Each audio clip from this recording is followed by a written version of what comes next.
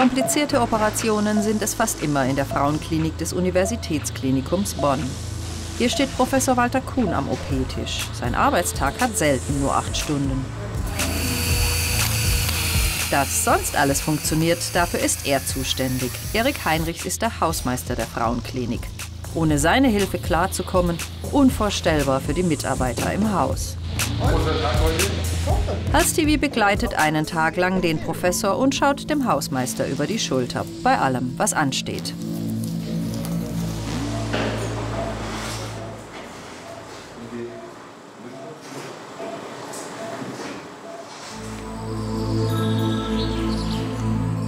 Frühmorgens an der Frauenklinik der Universitätsklinik in Bonn.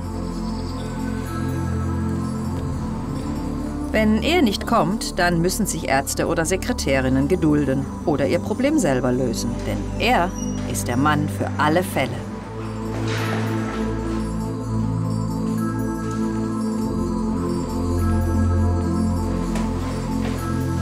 Und auch er ist immer sehr früh in der Klinik,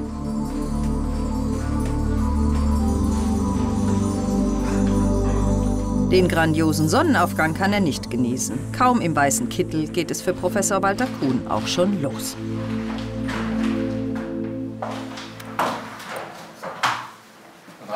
Der eng getaktete Zeitplan ist sonst nicht einzuhalten. Eine Frühbesprechung. Täglich um halb acht. Wir sind hier über 40 ärztliche Mitarbeiter.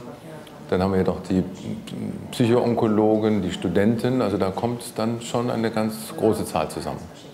Dass wir sozusagen kurz besprechen, was ist am Tag geplant, welche Operationen, äh, welche Veranstaltungen, was ist zu tun.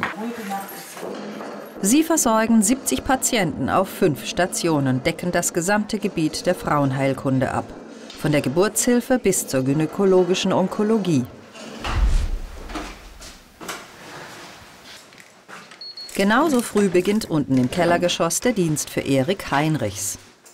Sein neues Büro hat er gerade erst bezogen. Der Hausmeister zählt bereits zu den Dienstältesten und kennt sich überall im Haus bestens aus.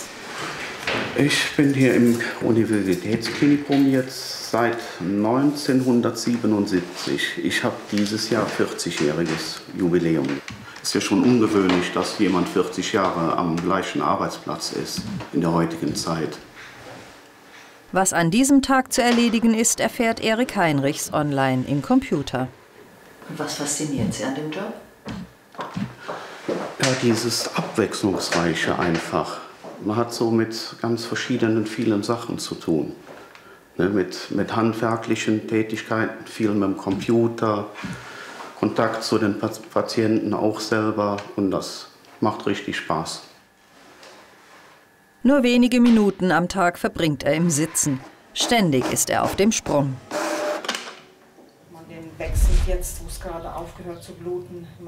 Nach der Frühbesprechung geht's auf die Stationen. Professor Kuhn bespricht mit den Schwestern und Ärztinnen, ob es Besonderheiten bei seinen Patientinnen gibt, welche Behandlungen auf dem Plan stehen. Im Anschluss daran die Visite und alle gehen mit. So, guten Morgen, die Dame. Großer Tag heute? Ich hoffe. Ja. Drauf an, was Sie mir jetzt erzählen. Nee, wir haben jetzt Sie hat ihre schwere Krebsoperation gut überstanden. Alle sind darüber froh. Wenn Sie sich gut fühlen, Schmerzen? Ja? Ich meine, da geht ja schon ganz fit. Ja? Wenn man das Fach Gynäkologie und Geburtshilfe wählt, muss man eine im besten Sinne, ganz allgemein formuliert, eine gewisse Liebe für Frauen haben. Man muss Frauen mögen. Dass man für die Patienten wirklich Referenz ist und absoluter Ansprechpartner und für alle Dinge auch tatsächlich zuständig und verantwortlich ist. Deswegen denke ich, ist diese Funktion auch ähm, nicht einfach. Auf den Frauenstationen sieht man nur Frauen, auch im Ärzteteam. Wir sind umgeben von Frauen. Mhm. Ist das so ein bisschen so ein Hahn Korb-Feeling? Also ehrlich gestanden überhaupt nicht. Ähm, was die Arbeit betrifft, da ähm, wünschen wir uns alle, ehrlich gestanden, äh, dass man eine, ähm, eine ausgeglichene Verteilung zwischen männlichen und weiblichen Mitarbeitern hat. Was übrigens auch der große Wunsch unserer Mitarbeiterinnen ist, dass man durchaus auch wieder mehr Männer in dieses Fach hineinbekommen kann und das Fach dafür attraktiv machen kann. So, guten Morgen. Trotz Termindruck Er nimmt sich für alle die nötige Zeit. Guten Morgen.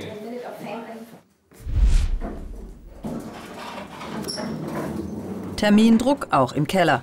Gerade ist Möbelrücken angesagt. Hausmeister Heinrichs muss dringend ein neues Arztzimmer einrichten.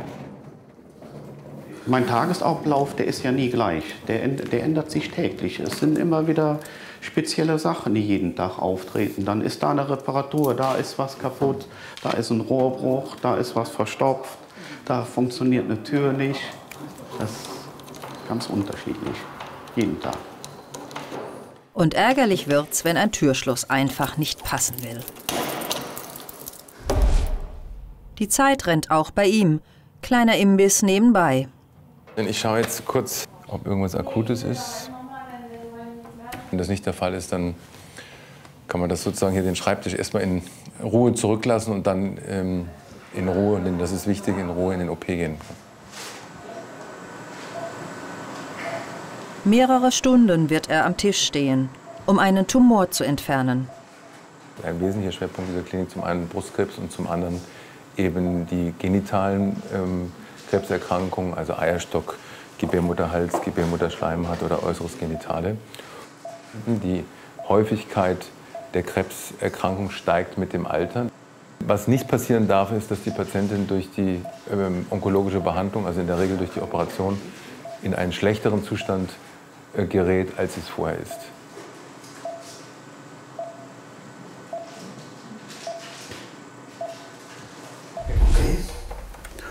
Techniktest im alten Hörsaal. Übermorgen soll hier eine Veranstaltung stattfinden. Ob alles klappt? Also ihn verschluckt, Ah, da ist er doch. Okay, alles da. funktioniert. Das hat Gott sei Dank nicht viel Zeit gekostet, denn es geht sofort weiter. Wieder ein Umzug. Diese Lampe kommt in ein anderes Büro.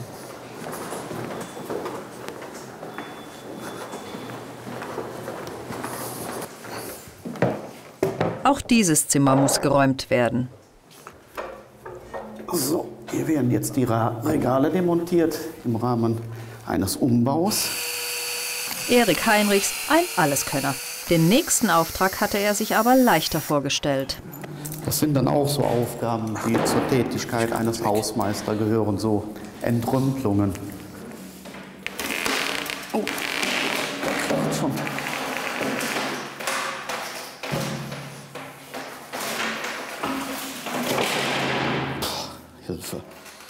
Selbst ist der Mann. Hilfe braucht er selten.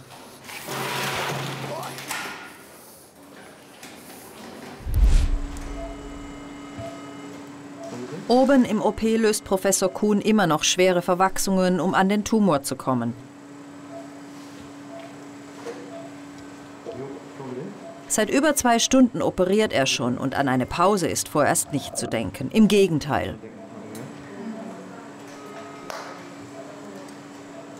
Der Tumor liegt an einer Stelle, wo er als Gynäkologe nicht mehr weiterkommt. Er muss einen Kollegen aus der Chirurgie anfordern. Dünndarm sollte man, denke ich, ein Segment entfernen, aber das oben Pankreas, das würde ich gerne. Der muss aus der benachbarten Klinik rüberkommen. Wäre super.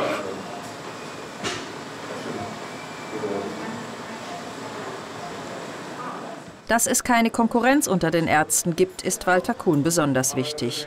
Anne Koschelny ist Facharzt und spezialisiert auf Bauchchirurgie. Gemeinsam werden sie jetzt versuchen, den Tumor zu finden und zu entfernen. Das Schwierige an der Operation ist, dass der Tumor nah am Hüftknochen liegt. Nur kommt man eben nicht anders an ihn ran, als sich ganz vorsichtig Zentimeter für Zentimeter vorzuarbeiten, ohne die Gefäße zu verletzen. Geschafft.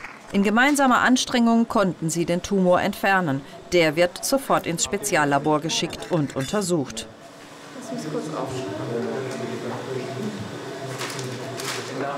Professor Kuhn tritt ab. Der Bauchchirurg und sein Assistent machen weiter. Wir konnten den Befund, der ihr äh, in absehbarer Zeit Beschwerden machen würde, nämlich diesen Darmbefund, der im linken Beckenwandbereich lag, in dem, diesem Tumorkonglomerat, der ist rauspräpariert. Das wird jetzt resiziert entfernt.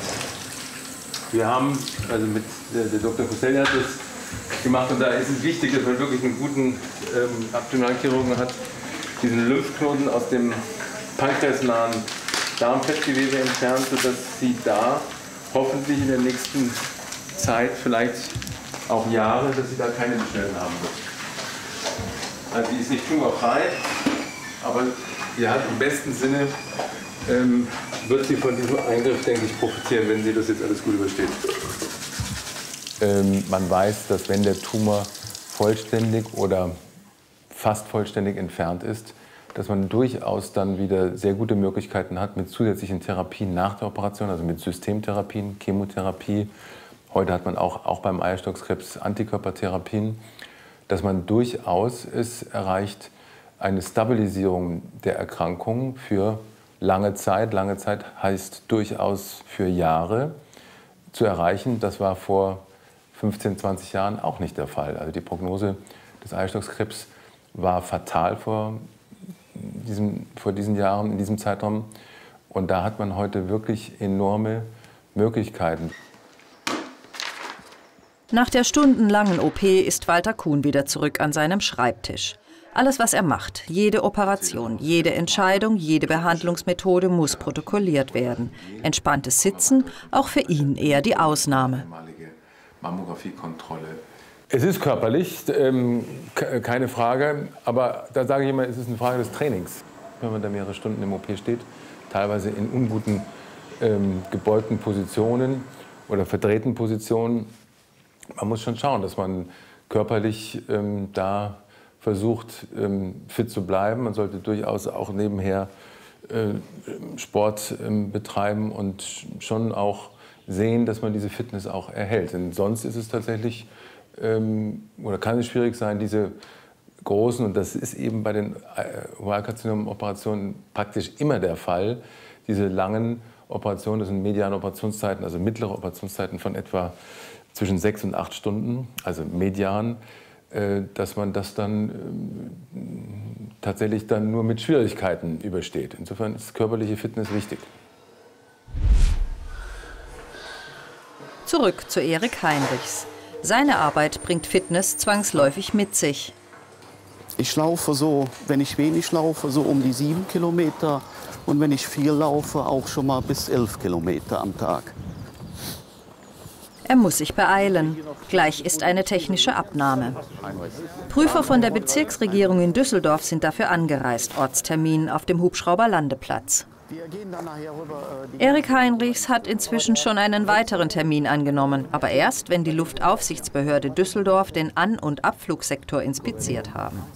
Wegen des angrenzenden Neubaus mussten Kräne umgestellt werden, die in den Flugsektor hineinragten. Wolfgang Rotter prüft nun, dass der Flugverkehr nicht beeinträchtigt ist und gibt sein Okay.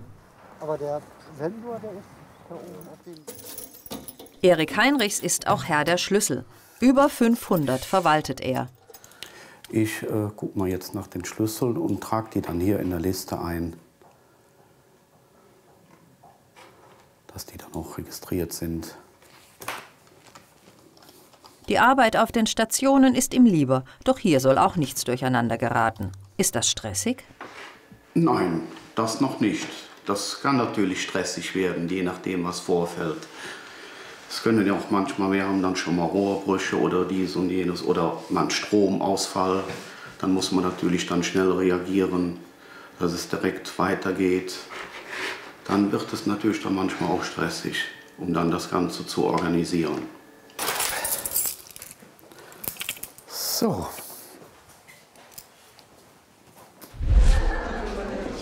Willkommen auf der neuen Station 5 an der Universitätsfrauenklinik. Professor Kuhn ist zur Einweihungsfeier geladen. Alle warten schon auf ihn. Kleine Erfrischung vorab, dann geht's los. Um Ihre Aufmerksamkeit bitten, die Hauptperson ist jetzt da. Ich Darf ich jetzt was sagen? Soll ich was sagen? Denn ich bin ganz bewusst, ich bin nicht die Hauptperson. Heute Hauptperson oder Hauptschwerpunkt äh, sind die Patientinnen, sind die Frauenklinik, wie Sie es gesagt haben, ist die Station. Ich finde die Station wirklich schön, wenn ich hier morgens hinkomme. Ich gehe gerne Visiten. Mir gefällt es sehr gut, die Freundlichkeit, wie Sie mit den Patienten umgehen und wie die Schwester Tanja sagte, äh, das wird wirklich gut angenommen. Augenschmaus und Genuss vom Buffet. Kein Ausnahmeangebot, sondern die Regel, auch für zukünftige Patientinnen. Aber sonst esse ich nichts, weil einen das träge und faul macht. Also mich jedenfalls. Und ähm, immer ein bisschen Hunger ist nicht schlecht.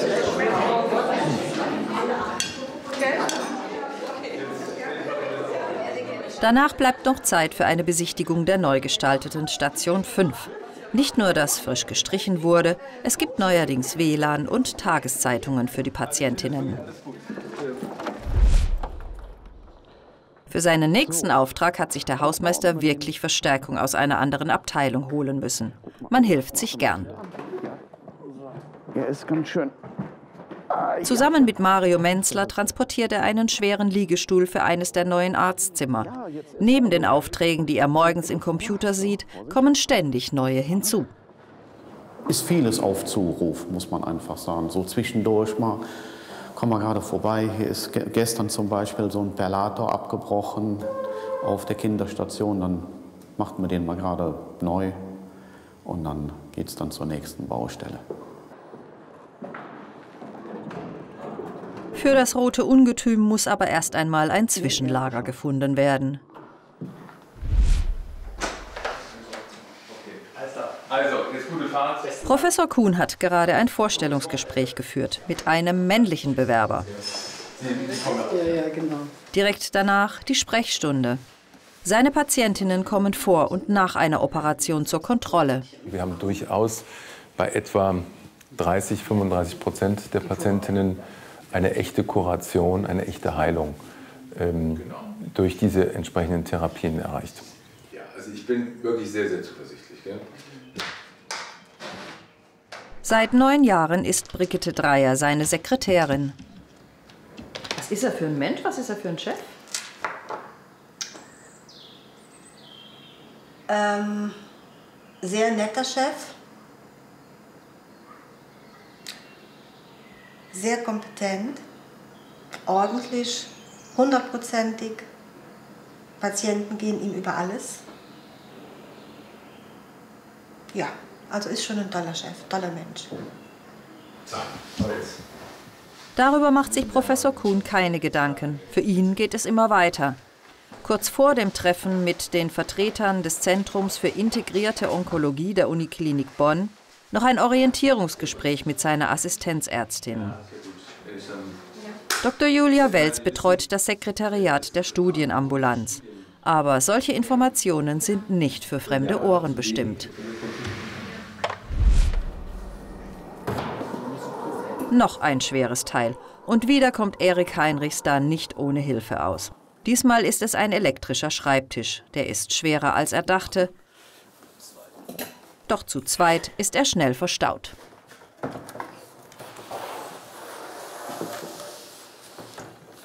Das war's schon fast für heute. Bleibt nur noch die alte Spüle von heute Morgen, die er entsorgen muss. Die kommt erst einmal ins Depot und wird später abgeholt.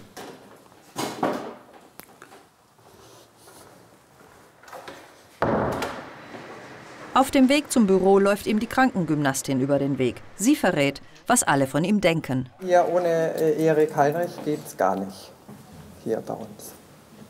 Wie kommt's? Ja, weil immer irgendwo irgendwas los ist im Haus. Immer bereit zu jeder Hilfe. Ja, wirklich, das ist wirklich ehrlich so. Das ist total. Ich bin ganz froh, wenn er hier ist, dass er hier ist. Und viele andere auch. Ja. Halb vier, bald ist Feierabend. Ah, dann bin ich ja auch froh. Also, dass ich den Tag hinter mir habe. Ein letztes Mal E-Mails checken, das war's für heute.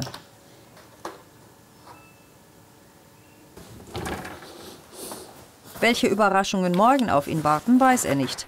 Für ihn war das im Übrigen ein ruhiger Tag, meint er. Nun freut er sich auf seine Hobbys. Mountainbike fahren, fotografieren, angeln. Hauptsache Ruhe.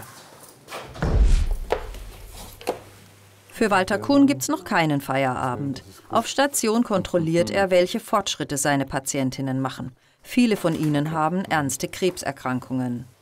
Der Professor hat seine eigene Strategie entwickelt, wann und vor allem wie er die Frauen über den Verlauf ihrer Erkrankung aufklärt. Also man kennt die Patienten, die hier operativ behandelt werden, auch nicht operativ behandelt werden, in der Regel ja schon längere Zeit. Entweder sind es Patienten, die jahrelang in der Betreuung sind hier bei uns in der Frauenklinik, oder es sind Patienten, die man im Rahmen der Sprechstunde kennengelernt hat, da durchaus auch längere Zeit sich mit den Erkrankungen, den Problemen, den Symptomen auseinandergesetzt hat, sodass man schon so ein gewisses Gespür entwickelt, wie man, was man rüberbringen kann, wie viel und in welcher Form. Gut, sehr gut. Gestern Abend geschlafen, deswegen haben wir uns gestern Abend nicht gesehen. Wie geht's Ihnen? Dass man ganz wesentlich tatsächlich die, die psychische Situation der Frauen, die ja meistens dann doch leider Gottes sehr schwer krank sind, dass man die sehr, sehr intensiv und maßgeblich berücksichtigt. Jetzt schauen wir erstmal, dass wir mit der Therapie beginnen und dass wir diese ganzen Metastasen zurückdrängen und wir haben da gute, gute Chancen, das hinzukriegen. Ehrlich. Muss man auch schon mal lügen? Äh, sollte man nicht tun. Sollte man nicht tun, denn die Patienten merken es irgendwann sehr genau, dass man dann nicht die Wahrheit gesagt hat. Äh, und das würde sofort das Vertrauensverhältnis, das die Basis für alles ist, ähm, dieses Vertrauensverhältnis dann nachhaltig beeinträchtigen oder zerstören. Insofern eine echte Lüge sollte man nie äh, dem Patienten gegenüber machen.